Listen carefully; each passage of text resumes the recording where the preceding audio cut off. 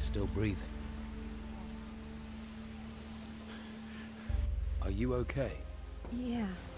Yeah. But I think I drank half the ocean. Do you remember much about what happened? Just that strange man from the Inquisition. And the storm. He sailed us straight into it. Then he... he vanished. The ship must have capsized and we got washed ashore. Looks like the poor devils over there weren't as lucky as us.